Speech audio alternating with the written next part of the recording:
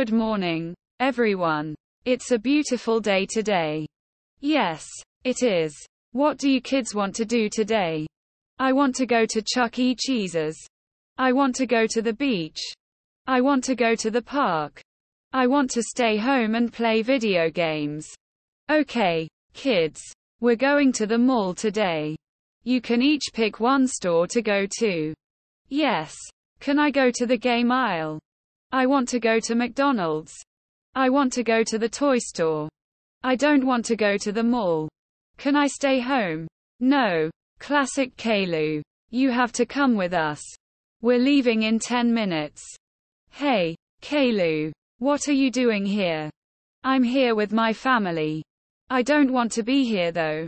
Why not? The mall is awesome. I just want to play video games all day. I don't like shopping. Wow. This game looks so cool. I have to have it. Oops.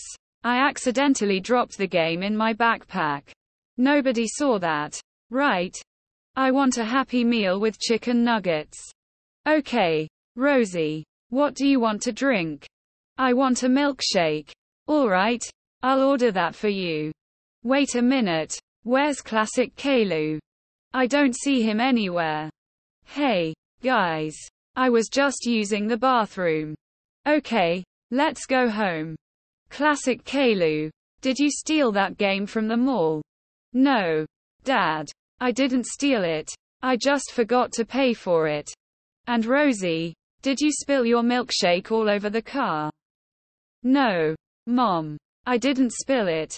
It just fell out of my hand accidentally. I can't believe you two. You both lied to us and now you're both grounded for a week. A week? That's not fair. That's the punishment. Classic Caillou. You should have thought about that before you stole the game. Fine. I'll just play video games in my room for a week then. And I'll just watch TV in my room. Good. Now go to your rooms and think about what you've done. WA